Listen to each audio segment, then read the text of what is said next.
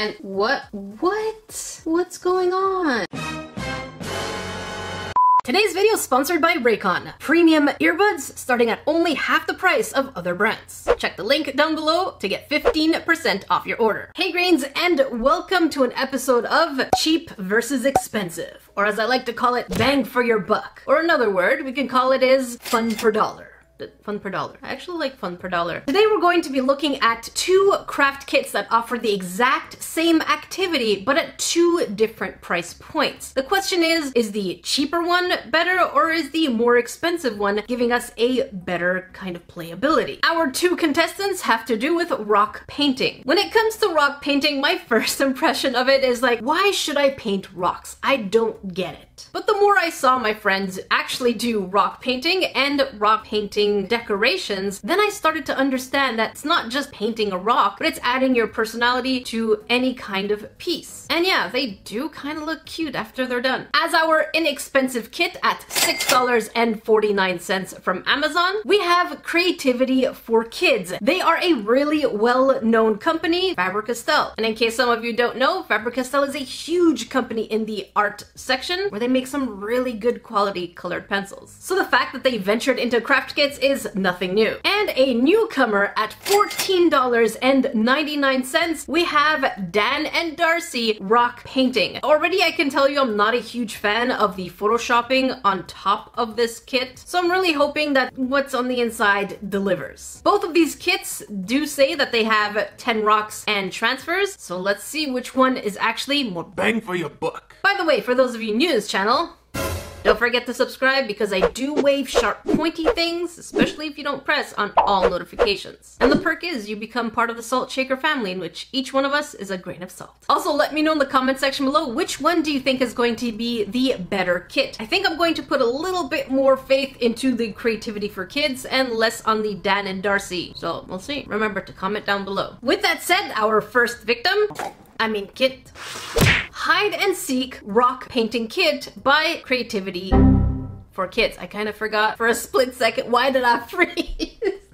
I was like, Creativity for Kids. Full disclosure, I did steal two rocks from this kit. I didn't look on the inside. I just kind of went in, tore the little bag of rocks and took two out for when I did my Crayola hacks video, this one as you see on screen. I really tried to see if Crayola hacks were real, so I went ahead and used Crayola on hot rocks. If you're interested to see that video, I will link it down below. But other than that, I really didn't check this kit out. So as the box says, we get rocks, paint, and transfers. So we should be able to transfer our designs onto rocks. And the fun thing is, when we look on the side, it does say that this paint is weatherproof. Well, red weather resistant. So it technically means that if you do use it as a decoration for your plants, you should be okay to water it. So let's keep that in mind. And I have to admit, the designs are absolutely adorable. I really like the kitty cat one too. And for $6.49 right now on Amazon, this really does make it a bargain kit. With that said, let's see what we get inside. Yes, I did reseal it. Don't judge me. How else are we gonna get a dramatic unboxing?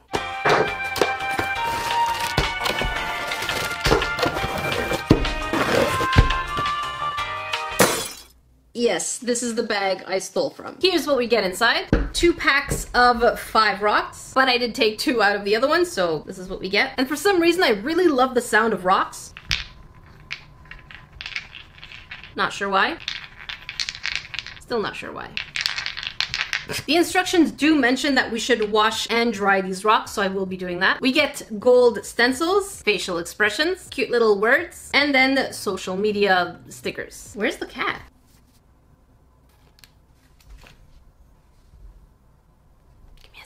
So I thought this cat, the entirety of it was a stencil, but it turns out, according to the instructions, this is a um, permanent marker of your own to make details. So I'm a little disappointed. We also get two different widths of brushes, which is very welcome. Usually most of these kits just throw in one size and they're like, you figure it out. But here we have a wide brush, and here we have something for a little more detail. Oh, ooh, ooh, what happened here? It's all so it's going to be interesting to see how well they actually work, if they're just going to be like and growth. We also get a piece of sponge for the transfers. And last but not least, we get eight different colors. And one of the things I am extremely surprised with is the fact that we actually do get a black paint. Normally these companies don't give us a dark color, but the fact that they gave us, in addition to the primary colors, black and white is really a good thing. One of the things that annoys me about this paint and the box it came in is that it was bent. So when you try to put it straight, yeah. Stay! Stay still! And here's a close-up of the paint. Looks nice and gloopy. And you gotta push real hard. There. I'm not even gonna try with you anymore because all you wanna do is fall. And here they are all nice and washed. All right, so let's go ahead and do two different designs. Let's see what these rock shapes inspired us. Holy carp, is that a butt crack? I'm pretty sure this rock has some some pretty nice cheeks going on here. Look at that. So I think this is going to be the first one we're gonna work on with a little booty. And this one has some really nice textures and really different kinds of color. That's that's another butt crack right there. Why am I seeing butt cracks? Good job. This one is nice and smooth. I don't have, oh, looks like little leaves. I don't have any inspiration for the other two yet, so let's go ahead and start with the first one. I'm going to call you La Pièce de Résistance. So the first test is going to be putting a layer of white because they do recommend starting off with one coat of white. That is nice and thick. And first impression, oh. So even though it is slightly on the transparent side, they do say clearly in their instructions to put more than one coat. However, for the base of the white, they say to only put one. Eventually. And here it is after four minutes. Believe it or not, the paint has dried. That was really quick. And it does have a nice shine to it. You know what? I'm gonna have to paint the back in black, but I'll do that later on. Now I think our creature of choice is going to be a derpy dino. So let's try the green. And, okay, it's gonna need a little stirring. Go over here. Do not fall. Don't you dare do it. Hey, why'd you fall? No, stay. Don't move day. It's usually recommended to stir any kind of paint before you use it, just in case, you know, it separates or how lo however long it's been. Creativity for Kids, if you are watching, please, I think divide your container things because they keep wanting to fall, even though I've adjusted it many times. Ooh still nice and thick. I'm going to guess we're going to need at least two coats of green, but that is, yeah, still a little streaky. So mm, two coats probably won't be enough. Let's see. So I went ahead and added the second coat. However, I wasn't really expecting the second coat to go entirely opaque, but it did a pretty good job. Once it was dried up, you can see that there are still some translucenty type streaks. It's not really very visible, but as someone who's close up to the piece, you will see it. So I figured, hey, let's go for a third coat, and I'm pretty happy with what it looks like. I took out the second brush and wetted it so that we can remove the adhesive, and it is, it is all over the place. Look at that. It is like my hair first thing in the morning. Charming, very charming. All right, so now we're going to take our little decal, and it does tell us to use it kind of like a tattoo where you put a little bit of water behind it until it fully transfers. But I just realized that they don't give us any kind of glaze to go over the rock. So then the question is, is this little derpy dragon dinosaur? Wow, where are my words? so the question is, is this little decal thing also weatherproof or will it fade with weather? With weather. Right, you, you know what? You know what I meant. Don't pretend pretend you didn't know what I meant because we get each other, okay? Okay. Suddenly I'm realizing that this dino's derriere is way bigger than its head, so you know what? Good for it. Okay, so face down. I think we'll put it um, again right here and just a little water. I mean, if it doesn't transfer on a rock that is curved, then why did they make these decals for curved rocks, right? Otherwise, they would have given us rocks that are flat. Oh, it just slipped right off. Okay, okay, okay. I am pretty impressed. That went on way more smoothly than I expected. Here's to you, $6.49. And so after putting together the little dino head, I decided to use the back end of the brush as they also recommended in order to draw in the rest of the details. But oh my god, it doesn't hold enough paint and you can't even see the paint, but also it's pretty gloopy so you can't get that much detail, which made me totally mess up the way that the bum arches with the tail. And yeah, I just don't like the fact that they didn't give us a detail brush because the brush they gave us really does look bad. Let's let's go back to seeing how messy it actually is. So even though the painting experience itself was pleasant, the paint brush for the details was not pleasant. And I took the liberty to go ahead and do the, the back in black. So here's our, our derpy dino. So here is the black base in the back. And what, what, what's going on? Oh, come on. This is still sticky? It's been 20 minutes. Oh no. Oh no. Oh. So this was not expected. It, now it just looks angry, which I kind of like the aesthetic, but it's been legitimately 20 minutes. The entire paint has dried. This is the only thing that is still sticky. And yeah, I'm not happy about that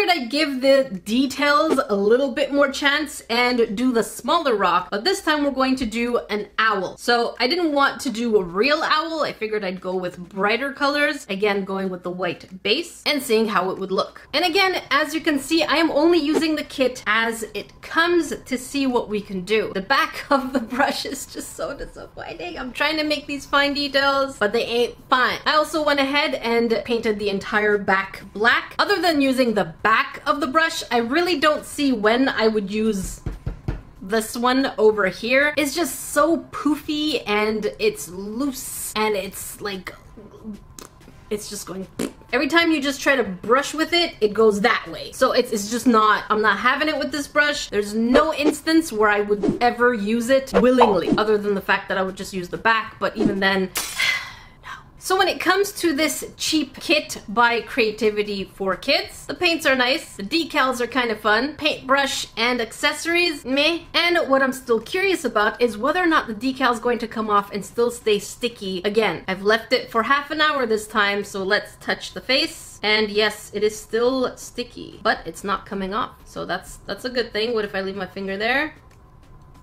Okay, but as you can see, look, my finger is still very sticky for some reason. But let's not forget this one. With these in mind, let's go ahead and try the more expensive kit. All right, since I am pessimistic, I think the salt shaker is going to end up changing Yep, it totally changed colors because the salt shaker and I, we are simpatico. So our next kit is Dan and Darcy rock painting kit. As I mentioned at the beginning, I'm not a huge fan of the fact that these rocks at the front of the box are photoshopped, so I am really skeptical, unless the paint really is that shiny, which I doubt it. I mean, even that boat looks like it's, it's so uber shiny.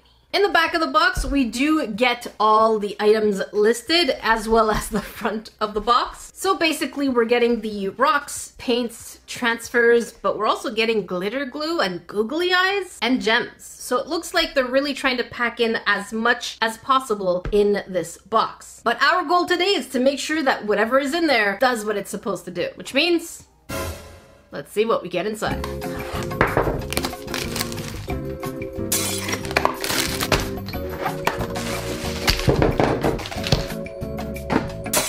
Okay, this is interesting. The rocks in this kit are a translucenty white color. Not sure if that's going to make anything different, but that's what we're getting. Look at that. Look at you. You are a cute rock. I want to turn you into a sculpture. That's another video.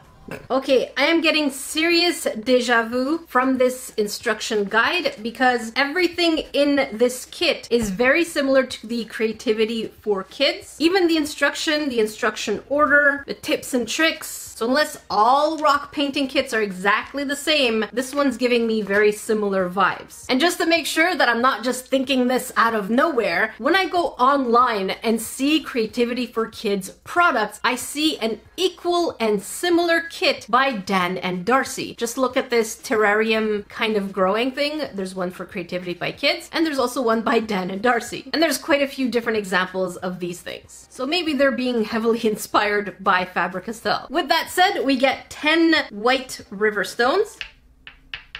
still makes the sound I like. And yes, they did say to wash them and dry them. We have the decals, which are just very generic tiny stickers. Sponge. The googly eyes that are both large, medium, and tiny. Gems. Two very cheap quality paint brushes, also in a more flat type bristle, and a detail type brush. I feel like this detail brush is probably better than the Faber-Castell, but we're only going to know once we wet it. But it is super bendy. Look at that. Super bendy. Listen very plasticky. Gold and silver glitter glues. Paints in the primary color, green, white, and black. But also, we have some metallic paints. So we're getting more paints here. Here are our rocks all clean and dry. So similarly to the first kit, they tell us to put a base of white paint. And let's see our white paint. Looks like white paint. And in case you're wondering, yes, I did stir it. And how does it look on the rock? Oh, that is that is way more watery than the previous kit. You know what? Let's test it on the darker rock. This is the exact same rock we used for the other kit. And yeah, no, it, it feels like there's way more water in this one, right? Think so. The only reason it's a little darker in other areas is because it's accumulated inside the actual crevices, whereas when it's not inside a crevice, it's very, very much so translucenty as opposed to gesso-like. But you know what? We'll do as they say. We're just gonna give the entire thing one good, generous coat. A few minutes later. Good news is drying time is about the same as the other kit, about four-ish minutes on this white. And now what I want to do is recreate this pig. It looks like they're using a shiny metallic paint, so we're definitely going to be using this one. I'm really curious if it's going to cover the entire surface. And it seems like we're going to be using googly eyes, and I think these would be decals because they're way too straight. Is there even a boat? There's a boat here. Okay, here's the boat, but I don't see the pig ears. Mm, not here either. Okay. Whoa, whoa, wow, what is this? What is this? Is this person spitting while laughing? Because these don't look like laughter tears. They look like he's speaking very wetly, which is not very good to do. I don't even know what this emoji is. I do have my doubts if we're going to have enough paint for this surface, but let's give it, oh no, oh no, oh no metallic paint. Oh no. We're gonna st we're still gonna use this. We are not backing down from a challenge. It's quite thick, which I guess is a good thing, but we really don't get much. Oh no. But hey, maybe a little goes a long way. Are they all this little? No, purple's generous. Orange is pretty much still half missing, but mm, uh, seems okay. Gold is generous. Silver's good. Green is okay. I think the worst one was the pink. All right, so I'm going to dunk my paintbrush. Oh, that is, that is very thick. I don't think it's supposed to be like that. And here it goes. That is, that is really transparent. I don't know if you grains can tell. This is really transparent. I'm hoping the second coat really does go for miracles, but let's, let's wait and see. I'm gonna finish this first coat and then show you grains what it looks like with a second coat. So here it is after the first coat, and you can see that the paint likes to kind of clump and lump for some reason. Not sure why. So as you can see the first and second coat side by side, I'm actually genuinely impressed how much more the second coat actually covered. Interesting. And I do quite like the pearlescenty effect of this paint. So now to make the snout, I'm mixing a bit of the metallic with the red, so it gives us a kind of deeper pink, but not a pure red. And I have to admit that this detail brush in this kit is way better than the Faber-Castell one, oddly enough. That, that one was just gross. I don't want to look. No, no, don't bring it back on screen. I don't want to see it. Then we're adding the two cute little nostrils. And like I said, we're going to be making the pig exactly, well, not exactly, because I want to make a queen pig by using some of that glue that they gave us. So we are using the googly eyes. So I'm to be, I don't know if how do how does this are these not stickers oh no these are not stickers oh no or are they it just says googly eyes do i have to use glue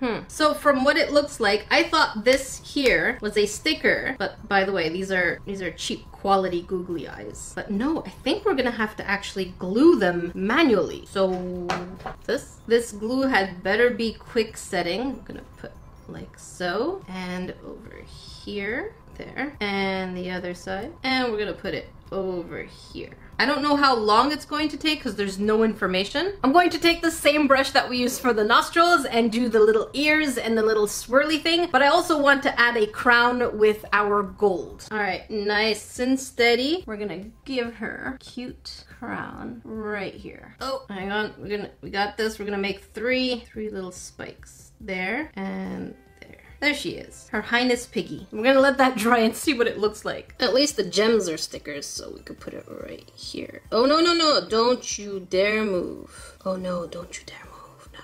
No. No, no, no, no, no, no. Stay. Oh, dang it. no! Alright, so I re-glued it, but I don't have much hope. We'll wait 24 hours and see if it actually does hold. In case your grains were wondering what it's like to put a decal on this, I prepared a surface at the beginning when I started the pig, so it's had quite a bit of time to dry. Oh. It seems to have been reactivated by the water. Is the decal going to come off? And yes. So at least it's easy to do the transfers as well, but that is insane. Why did this come off? Oh, that's true. Okay, look. So the green does smudge with water. Remember what I said to keep in mind of for the Faber-Castell one? When we look on the side, it does say that this paint is weatherproof. Well, red weather resistant. Yes, weather resistant paint. Whereas with this expensive kit, we don't get any kind of weather, wet, weather, weather resistance. Not weather, weather. So let's let's check back on uh, Pig Pig Princess in 24 hours. 24 hours later. So here we are 24 hours later. You can see that the glue has flattened. The gem is still nicely on there. Now the question is, how are the googly eyes? And yeah, no, no. So this one's a little more firm. Okay, no.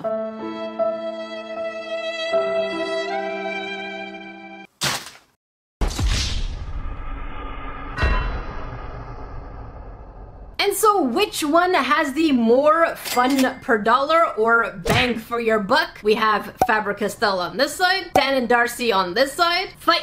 Yep, I agree, Faber-Castell. The googly eyes and gems can definitely be things that you can pick up from the dollar store, which would still bring your total way less than the actual $15 of the Dan and Darcy. Not to mention weatherproof paint. Enough said. As mentioned at the beginning of today's video, we are sponsored by Raycon. For those of you who don't know, Raycon is a huge huge supporter of this channel, but also they're my favorite earbuds. Raycon has taken the market by storm because they offer premium quality for starting about half the price of other brands out there, with no compromise. They also come in really cute colors. Just look at all the options you have. What I love about Raycon that is really different, the way that they design their products. But Jackie, what do you mean design their products? You get seamless Bluetooth pairing, more bass, and a more compact design with no dangly little stems that are just kind of all over the place. They are so discreet, look, you can't even tell that I'm wearing them. And because they offer so many different fits for different ear sizes, which is thank you very much since I have small ears, it also means that they're noise isolating. In addition to absolutely beautiful design, Raycon prioritizes customer experience, which means that you have 45 days of return-free policy. So there really is no risk. So whether you want to listen to music or your favorite podcast while you're sculpting, or want to make your day-to-day -day more comfortable, Raycon earbuds really are my favorite. And hey, celebrities like Melissa Etheridge are also pretty obsessed with them. So make sure you click on the link in the description box below, buyraycon.com forward slash nerdecrafter for 15% off your order. Thank you Raycon for sponsoring today's video. Let me know in the comment section below which one did you think was actually more bang for your buck? The one with more accessories or the one that, you know, the bad paintbrush but weather resistant resistant paint? I'm very curious because the other one really did have better brushes though. Don't forget to add me on Twitch, Instagram, and TikTok. And if you want to watch the previous cheap versus expensive, but this time sticker kit, make sure you check up here. And if you want to watch a video YouTube thinks you haven't seen yet, make sure you check down here. Until then, I will see you grains in the next video.